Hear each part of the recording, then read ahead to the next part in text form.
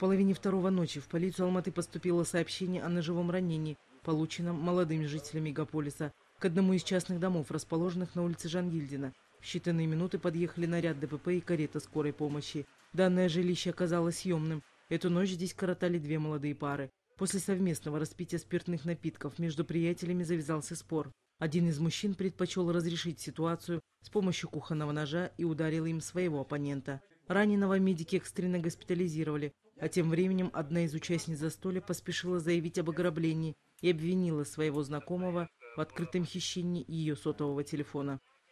За что задержан ты? За беспредел.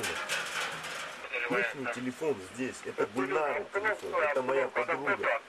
А вот здесь мой телефон. И все сообщения прочитал, которые за сегодня, за вчера. И... А зачем ты забрал этот телефон? Он у меня был, мы в одной комнате лежали, есть. Вместе с тем выяснилось, что подозреваемый ранее трижды отбывал наказание за кражу чужого имущества. Последний раз из мест заключения мужчина освободился в 2008 году. Квалификация его нынешним действиям будет дана следователями уже в первые часы предварительного расследования.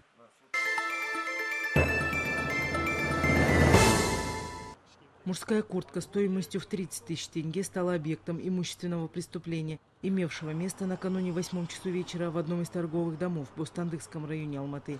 Реализовать свой преступный план этот мужчина решил, несмотря на многолюдность и меры защиты, предусмотренные на входной группе в бутик. Он побежал вниз по эскалатору, выбежал и не, доезжая, не доходя Абая, ой, Сатпаева, его наши э, торгового центра АДК поймали, то есть по, ну, подножку поставили, он упал на землю, его скрутили. Потом он там лежал, мы его проводили на парковку, он там стоял с нами. И в один момент миг он э, попросил меня ну, дать сигарету ему. Я у прохожего взял, назад посмотрел, он опять убегает. Э, убегает, потом мы побежали за ним опять. Он не смотрел на машину, ни на что, просто побежал, его чуть машина даже не сбила. Мы на той стороне дороги его опять под подножку поставили, возле 300 какого-то дома, я не помню, э, там его опять задержали. Там ждали, потом вызвали полицию. Э, в итоге он, пока, пока мы уже стояли там, он вдруг опять убежал, бежать начал. В этот момент э, подъехала полиция, Третья попытка побега потерпела фиаско. Участковый инспектор, первый подключившийся к официальному расследованию, заприметил подозреваемого уже на проспекте Абая. Полицейский в пешем порядке бросился в догонку. Мы стали преследовать, и на углу улицы Абая мотозалка был задержан. И на место вызван оперативно-следственная группа Бусанского района. Между тем, у задержанного была обнаружена, а позже изъята в процессуальном порядке та самая куртка. Магнитика он снял по ходу дела, потому что у него еще кусачки были, кажется. Туда. Хотел взять, не, не получилось. Ну что хотели взять? Куртку? Администрация торговой точки уже написала в полицию официальное заявление. Уголовное дело по факту кражи чужого имущества возбуждено в следственном отделе районного управления внутренних дел.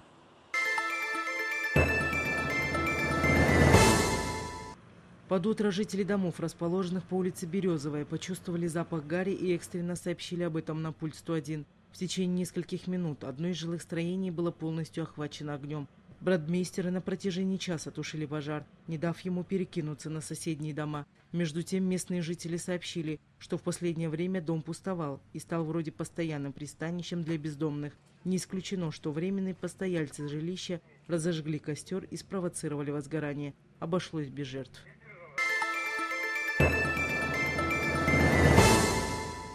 22-летний мужчина около 10 часов ночи задержан в Алмалинском районе Алматы. Молодой человек подозревается в совершении кражи из чужой автомашины.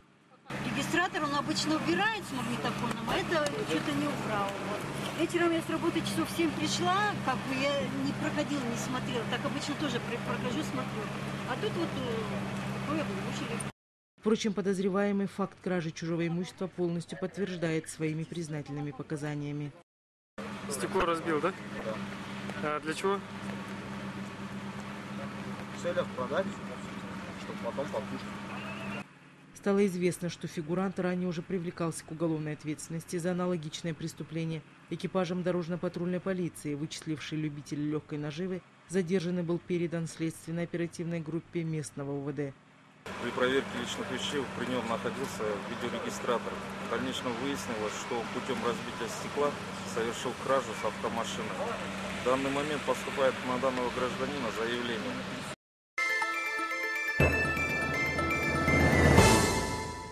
Очередной автолюбитель, разъезжавший по Алматы в нетрезвом состоянии, задержан накануне около 11 ночи экипажем дорожно-патрульной полиции.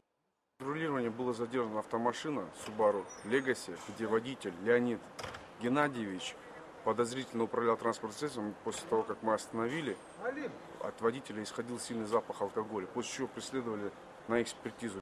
Во время процедуры медицинского освидетельствования мужчина все еще продолжал вести себя некорректно, засылая в адрес полицейских угрозы. Комментарии здесь излишни.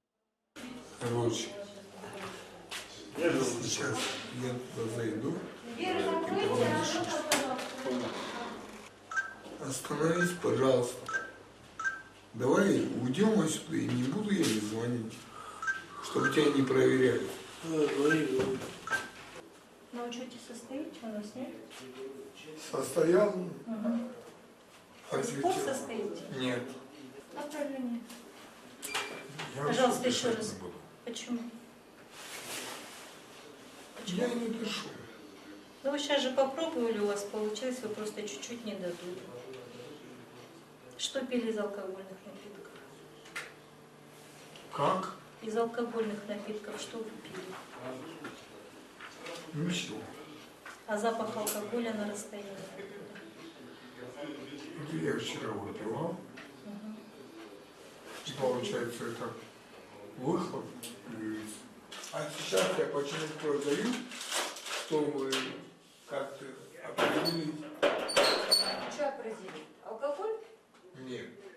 Там есть банный сифилис, пифилис. А это мы не проверяем, Это мы не только проверяем. алкоголь проверяем. Только на алкоголь. А, тогда Ноги Без- вместе соединили, руки вперед, пальцы раскрыли, глаза закрыли, голову назад запрокинули. Стоя в такой же позе, указательным пальцем кончик носа достаем, второй рукой это убрали. Не упадите, осторожнее.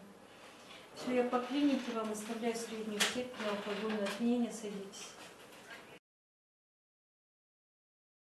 По данным Центра оперативного управления Департамента внутренних дел Алматы, за минувшие сутки в городе были зарегистрированы 164 преступления и происшествия, 85 из них раскрыты по горячим следам, в том числе 2 грабежа, 94 кражи чужого имущества, 31 хулиганство. Зарегистрированы 20 дорожно-транспортных происшествий, 20 человек травмированы.